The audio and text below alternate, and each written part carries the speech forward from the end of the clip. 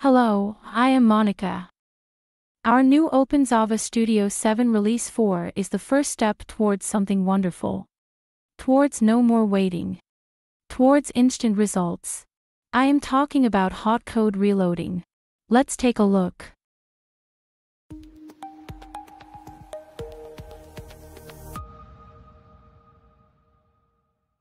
At first glance, our new OpenXava Studio looks just like the previous one. But no. There is a hidden difference. It turns out that the JDK, the Java, that runs the IDE and your applications is modified. It is a special JDK based on SEM and HotSwap agent, which means it allows hot code reloading. I'm going to give you a short demo. In this application, we have an action that displays a greeting. Let's change the code of this action. For that, we go back to OpenXava Studio. We do not stop the application, instead, we start editing the actions code directly. Instead of adding the message inside execute, we will call another method where we will do the work. We'll call it sayBye. We create the method and then write its implementation, which will be a simple add message. Bye, bye. That's it. We click save, and we don't have to do anything else. Notice that we have not only changed the method's implementation but also modified the class structure by adding a new method. Let's go back to the browser. Without building. Without stopping the application. Without even reloading the page, let's click the button to see what happens. And voila!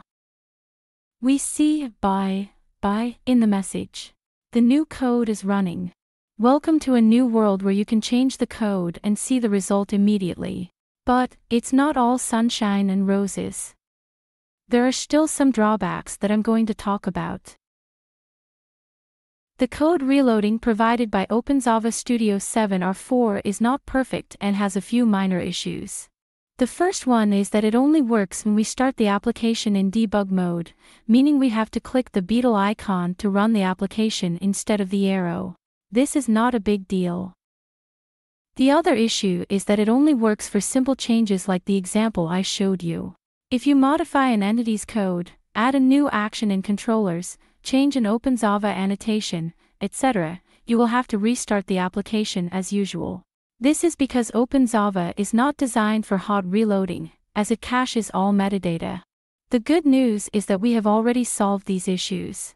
The next version of OpenXava, 7.5, available in just a few weeks, will allow hot reloading of everything and will no longer require debug mode for hot reloading.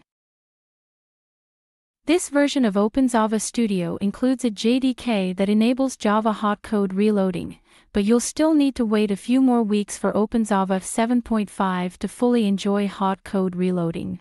Remember that OpenXava Studio is the IDE, while OpenXava is the framework these are two different things. For now, you'll need to download OpenXava Studio 7 R4, and in a few weeks, OpenXava 7.5. With both combined, you'll get full hot code reloading. You can download the new OpenXava Studio 7 R4 from the official announcement on openxava.org, where you'll find the download links and installation instructions. Bye.